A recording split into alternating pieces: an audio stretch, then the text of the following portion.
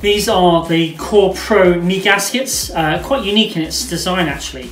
Um, for those that are not familiar with knee gaskets, normally knee gaskets are more of a softer build, but this is really quite firm. If you feel it, it's quite strong. Um, that said, it is obviously not full plastic, but you, you notice as you're trying to structure it, it's got a lot of rigidity to it, which is quite unusual for a for a gasket. Um, this, I think, from my perspective, having looked at it, is a really high-end pad um, that will really deliver for riders. If you're needing a high level of protection for landing big tricks on ramps, whatever your skating sport, these these particular knee gaskets really achieve that. In addition to that, they've got really thick padding around the edge of the actual pad itself, so it's got extra support for your knees, um, really just reducing the, the likelihood of injury. Um, it's got really like nice clear mesh with lots of breathable air here, which is a real problem when uh, whenever I skate anyway, it gets really sweaty. These, these are perfect because they help uh, your legs to breathe and not get too sticky. Um, and then of course the adjustable straps.